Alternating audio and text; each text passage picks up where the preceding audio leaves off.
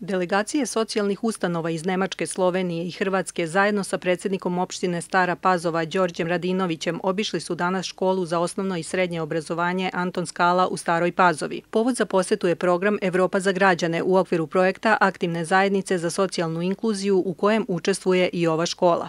Cilj je razmjena iskustva, s obzirom da je škola Anton Skala pionir u Sremu što se tiče socijalne inkluzije u smislu da smo izašli iz okvira školstva u socijalnu zaštitu. Škola već ima dve otvorene dnevne usluge socijalne zaštite za decu sa smetnjama u razvoju kao što su dnevni boravak i pomoć u kući, a otvara se i rehabilitacioni centar. Hoćemo mi naučiti što je dobro, što možemo raditi i nakon projekta hoćemo napraviti i novi projekte zajedno.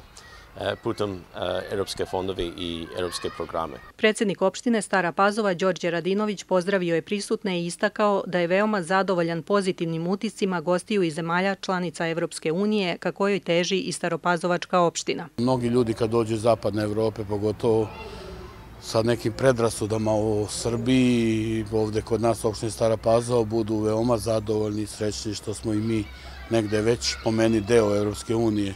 I kako sam i rekao, Mi kad na tom putu svakog dana grabimo korak po korak i očekujem da 2020. godine zbog boljeg života naših građana postaćemo i članica Evropske unije. Nakon obilaska renoviranih prostorija prisutni su imali priliku da pogledaju i kratkometražni film o istorijatu škole.